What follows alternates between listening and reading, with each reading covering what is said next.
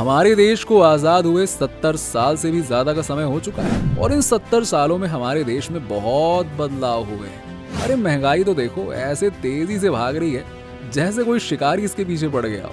खाने पीने की चीज़ों से लेकर पेट्रोल, डीजल सभी के दाम तो आसमान छू रहे और सरकार की ओर से महँगाई को कम करने के लिए लगातार प्रयास भी किए जा रहे हैं। और महँगाई तो भैया आम आदमी की लाइफ पर बहुत असर डालती है। जेब में कब पैसे आते हैं और खत्म हो जाते हैं, पता भी नहीं चलता है। लेकिन क्या कभी आपने सोचा है कि आज से सत्तर बहत्तर साल पहले, यानी कि उन्नीस के दौर में हमारा देश कैसा रहा होगा?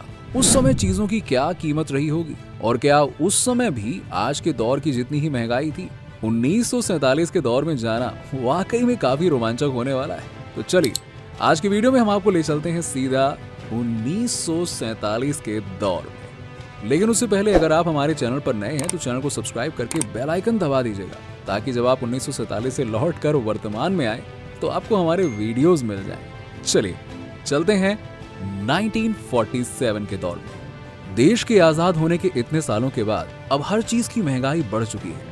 लोगों की तनख्वाह और लाइफस्टाइल में काफ़ी बदलाव आए हैं, लेकिन आज से सत्तर बहत्तर साल पहले ऐसा नहीं था।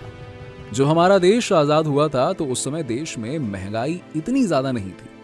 आज के समय में सामान्य लोगों को जीवन निर्वाह करने में जितनी कठिनाई होती है, उस समय उतनी कठिनाई नहीं होती थी। अब अगर बात करें कि आखिरकार उस समय चीज़ों की कीमत क्या थी तो उन्नीस के दौर में देश में चीज़ों की कीमत रुपए, पैसे और आने में हुआ करती थी। रुपया सबसे बड़ा हुआ करता था और उसके बाद आना और फिर उसके बाद आता था पैसा। अब हो सकता है कि आजकल के लोगों ने पैसा तो सुना हो, लेकिन आना, ये क्या होता है? कोई आने जाने की बात नहीं हो रही है, ये वो आना है जिसकी कीमत हुआ करती थी। खैर, एक रुपए की कीमत सोलह आने के बराबर होती थी और एक आना चौसठ पैसे के बराबर होता था। उस समय अमेरिकी करेंसी डॉलर की कीमत भी काफ़ी कम हुआ करती थी। उस समय एक डॉलर की कीमत भारत के एक रुपए के बराबर हुआ करती थी। यानी कि हमारा रुपया काफ़ी मज़बूत हुआ करता था। और आज के समय में देखिए बिना नोट के रोज़ाना उपयोग की जाने वाली वस्तुओं को खरीदना मुश्किल है, लेकिन उस समय एक रुपए में ही रोज़ाना उपयोग की सभी वस्तुएँ खरीदी जा सकती थी। नोट की ज़रूरत ही नहीं पड़ती थी, जिसके पास नोट होता था मतलब बहुत बड़ी चीज़ हुआ करती थी। खैर, आज 30 से 35 रुपए प्रति किलोग्राम चावल के दाम है, लेकिन उस समय उस समय केवल पैंसठ पैसे प्रति किलोग्राम चावल के दाम हुआ करते थे। यहाँ तक कि गेहूँ केवल 26 पैसे प्रति किलोग्राम की कीमत पर बिका करता था और आज के समय जहाँ चीनी 40 से 45 रुपए किलो बिकती है, उन्नीस के दौर में ये केवल सत्तावन पैसे प्रति किलोग्राम में खरीदी जा सकती थी। वर्तमान में पेट्रोल डीजल की कीमत आम लोगों की जेब पर बहुत असर डालती है और अक्सर इसकी कीमत में बढ़ोतरी होती ही रहती है। अब आज जहाँ दिल्ली जैसे शहरों में पेट्रोल की कीमत छियानवे रुपए प्रति लीटर है, वहीं उन्नीस के दौर में केवल ये 25 पैसे प्रति लीटर में पेट्रोल बेचा जाता था।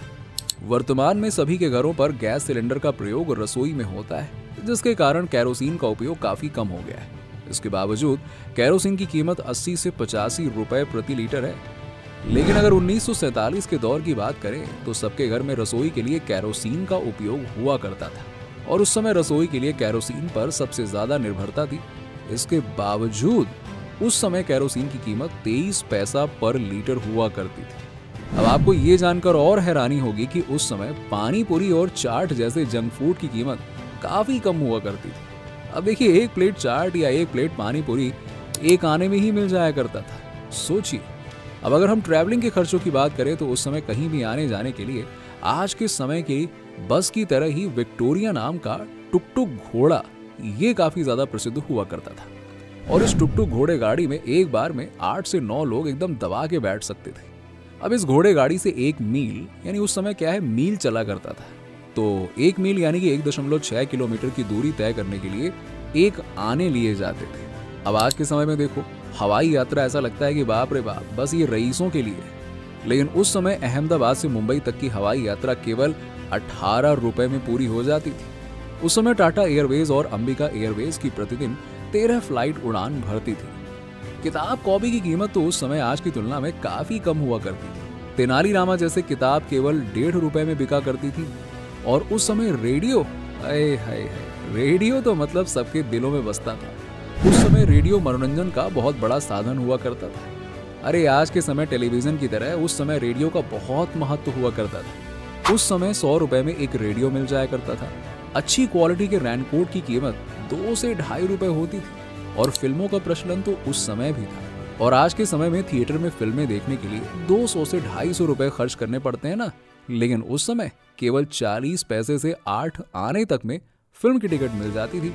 जाओ, मज़े करो इतने कम पैसे में। खैर दोस्तों, ये सब जानने के बाद हमें उन्नीस का दौर आज की तुलना में काफ़ी चिल्लर जैसा लग सकता है। लेकिन यकीन मानिए, ऐसा नहीं था। समय और परिस्थितियों के हिसाब से उस समय भी चीज़ों की कीमत उन लोगों के लिए आज के बराबर ही थी।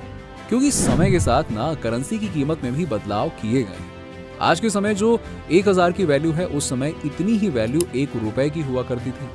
और यही कारण था कि आज जो हम एक हज़ार रुपए में खरीद सकते हैं, उस समय हम एक रुपए में खरीद सकते थे। उस समय भारत में लोगों की एवरेज सैलरी डेढ़ सौ रुपए से ज़्यादा नहीं होती थी। और हमारे लिए ये वेतन काफ़ी कम है।